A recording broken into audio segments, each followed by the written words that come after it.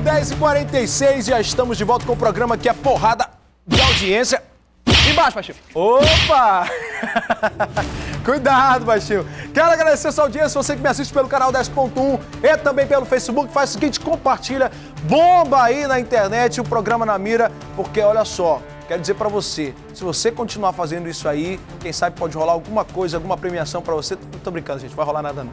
Olha só, dois bandidos trocaram tiros com a polícia e um deles morreu.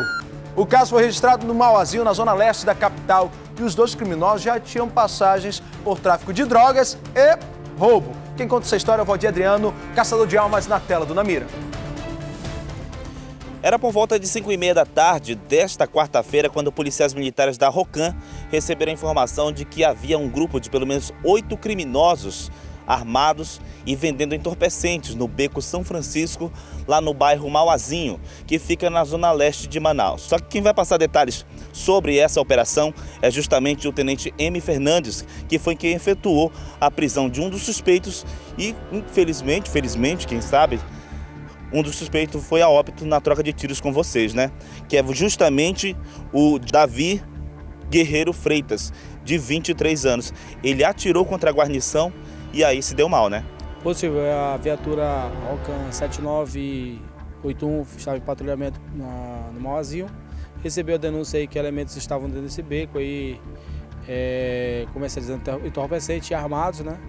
Ao chegar no local, eles foram recebidos a tiros e ao entrar no beco, esse elemento aí, posteriormente identificado como Davi, efetuou mais disparos contra a equipe e a equipe, repelindo a justa agressão, efetuou disparos contra ele vindo alvejá-lo. Socorrido até o Platão, ele veio óbito na, na mesa lá de politraumas. Pois é, ele não teve a mesma sorte. Já, já o Diego Silva Pereira, que foi de 25 anos, vendo que o comparsa dele levou a pior, resolveu se entregar, viu que era rocano, era não era a polícia diária, e resolveu se entregar. Com ele, a polícia apreendeu essa pistola que você vê aí nas imagens, que foi apresentada junto com o suspeito lá no 14º Distrito Integrado de Polícia, onde foi lavrado o flagrante pelos crimes de porte ilegal de arma de fogo de uso restrito e também de tráfico de drogas, uma vez que os policiais também encontraram com eles porções de maconha e cocaína. Agora eles estavam na cara de pau ali também vendendo esses entorpecentes, né? Ô senhor, é importante frisar aí que os bandidos ali que,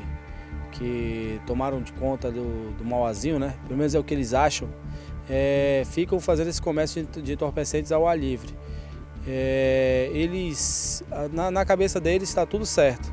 Porém, eles, não, não, eles esquecem que a cidade é da polícia e nós da Polícia Militar estamos tomando conta da cidade. Então eles continuam no tráfico deles lá e a gente vai fazer as intervenções necessárias ali naquela área para dar uma resposta à sociedade e a tranquilidade ali para a população. É, e essa tranquilidade você consegue ligando para o linha direta da Rocan, que é o número? É o 99280 7574 é, totalmente sigiloso aí, a, a, os moradores do Mauazinho, as pessoas de bem do Mauazinho, que são muitas, quiserem repassar as informações, aí estamos à disposição através do 99280-7574.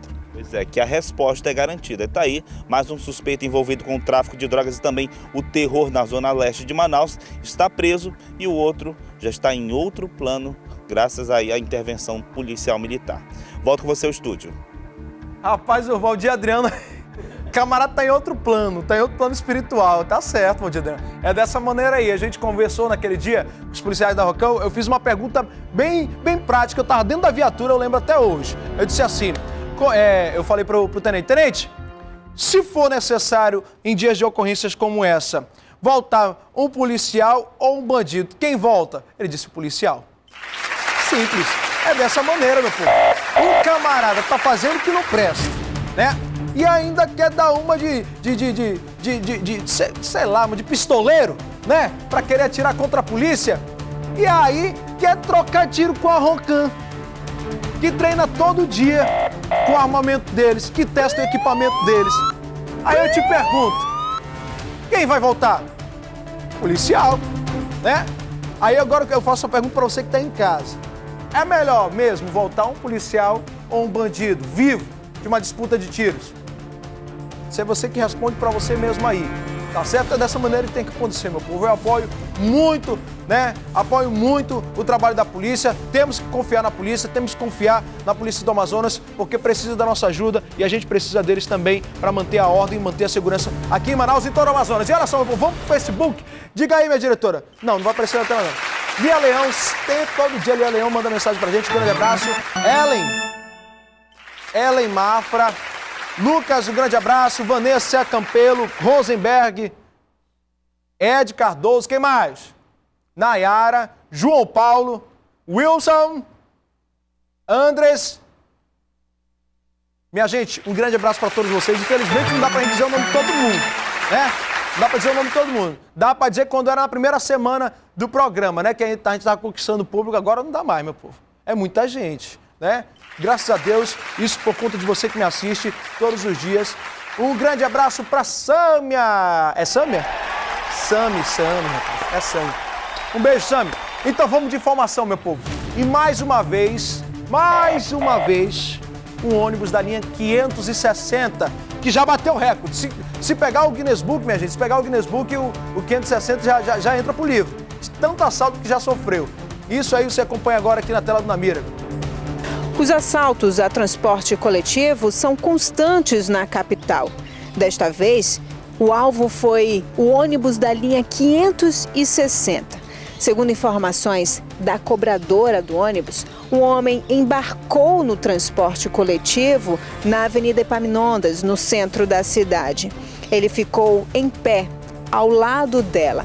Ela disse que sentiu que seria assaltada porque o ônibus estava vazio e o homem permanecia em pé ao lado dela. Quando ele percebeu que o ônibus já ia parar numa próxima, num próximo ponto de ônibus, então ele anunciou o assalto, ameaçando a cobradora com uma faca para pedir a renda. Felizmente, ninguém ficou ferido desta vez, mas o homem fugiu com a renda do coletivo sem ser identificado. O motorista e a cobradora registraram um boletim de ocorrência no primeiro distrito integrado de polícia. Volto com você no estúdio. Obrigado aí, Bárbara Mitoso, com toda a sua forma de falar sobre as ocorrências policiais. Tá certo, Bárbara, é dessa maneira aí, meu povo. E olha só, minha gente, eu vou rapidinho pro intervalo e daqui a pouco eu te mostro o que aconteceu em toda a manhã que nós estivemos ali no centro da cidade com os policiais da 24 Sicom. Rapidinho, não sai daí não.